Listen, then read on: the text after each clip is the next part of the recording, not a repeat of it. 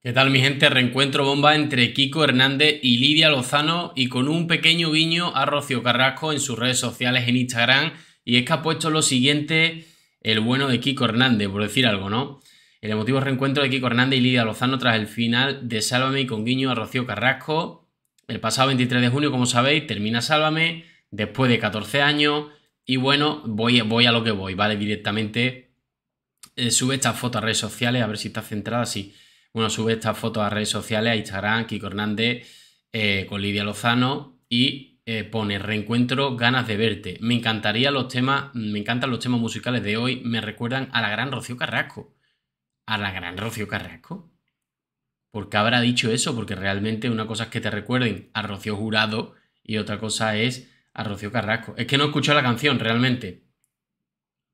Eh, Tutle Universe. Ah, pues no sé qué canción se habrá usado para el documental, me imagino, ¿no?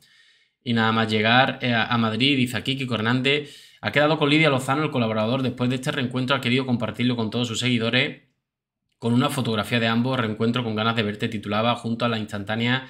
Además añadía en su historia de Instagram la canción de John Stairs, Tutle Universe. Sintonía del documental de Rocío Carrasco. Vale, vale, contar la verdad para seguir viva. Por eso Kiko ha añadido bajo el título Me encantan los temas musicales de hoy, me recuerdan a la gran Rocío Carrasco. Parece ser eh, que los dos han dejado eh, su diferencia en el plató y aunque hayan protagonizado grandes discusiones en Sálvame a lo largo de los años, lo cierto es que no pueden vivir el uno sin el otro y comparten una gran eh, amistad. Kiko Hernández, que está viviendo el mejor momento de su vida, quiere tener cerca a Lidia Lozano y que sea partícipe de los preparativos de su boda y futuro enlace matrimonial. Fijaros que se estaba diciendo que no iba a invitar a nadie de Sálvame, y de repente al final va a invitar a, a todo Dios, ¿no? Bueno, pero eso sí es verdad, ahora que ha acabado Sálvame, ¿no? Y que no pueden tener cositas guardadas. Aunque bueno, al final, ¿qué van a hablar? o sea, por muy mal que se lleven, ¿quién va a desvelar? Oye, pues hiciste esto en tu boda. Sería bastante patético, ¿no? Bueno, para que veáis, Lidia Lozano, eh, que hacía un show llorando permanentemente. Al final es un show, ha estado ganando dinero haciendo un show.